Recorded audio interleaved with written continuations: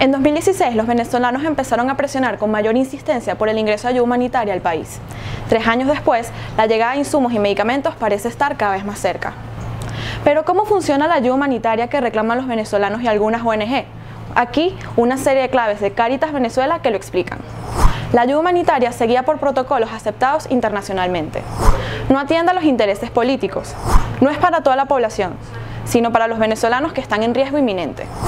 Es limitada en cobertura y tiempo. Contempla en su mayoría insumos terapéuticos.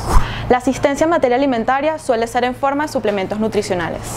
No puede sustituir al Estado. Debe incluir una estrategia ligada al desarrollo. Implementa medidas de socorro y protección para las poblaciones más vulnerables. ¿En qué estatus se encuentra la ayuda humanitaria destinada para los venezolanos? Hasta los momentos, la Comisión Especial de la Asamblea Nacional informó que la ayuda será destinada a cinco hospitales. También detalló que esta fase es de atención temprana y se enfocará específicamente en niños menores de 5 años, mujeres embarazadas y adultos mayores en riesgo nutricional también en pacientes en situación de emergencia y personas con enfermedades crónicas, con especial foco en diabéticos e hipertensos. Los invitamos a mantenerse atentos a nuestra cobertura sobre la ayuda humanitaria ingresando a www.efectococuyo.com. Hasta la próxima.